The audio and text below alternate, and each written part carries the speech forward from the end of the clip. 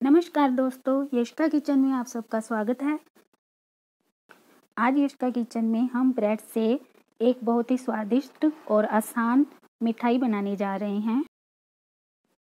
इस मिठाई की रेसिपी बहुत ही ज़्यादा आसान है, जिसे आप आसानी से बना सकते हैं। दोस्तों, अगर आपको हमारी रेसिपी अच्छी लगती है तो आप हमारे चैनल को ज़्यादा से ज़्यादा लाइक एंड सब्सक्राइब ज़रूर कीजिए। इसी के साथ हम शुरू करते हैं आज का वीडियो।